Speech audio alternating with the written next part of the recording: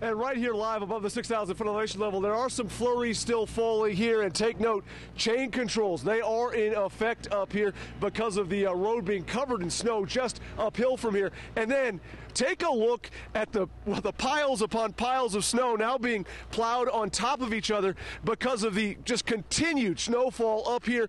This is the top of the snow berm at Kingvale.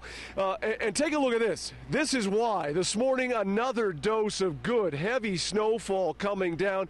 The ski resorts reporting anywhere from 22 to 28 inches of new snow over the last two hours. That's two feet or more in spots just in the last 24 hours. And yes, this morning that did cause some problems on the roadway.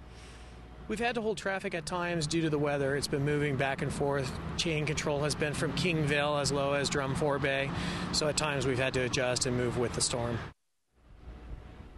And back here live, uh, Highway Patrol is advising there is some more snow expected coming uh, Thursday night into Friday. And because of that, they're just advising people hey, if you're going to be coming up here for the weekend, try and make your uh, plans now to leave early because up here, uh, we've already seen lots of cars having to chain up. And we have uh, heard of those incidents of cars spinning out into the ditch in the snowbank. And that is what causes traffic to slow down.